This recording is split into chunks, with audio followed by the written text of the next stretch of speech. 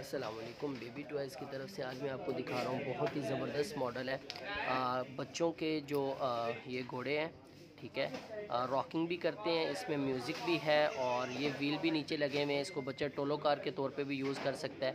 तीन इसमें साइज़ हैं कलर इसमें मिल जाएँगे आपको।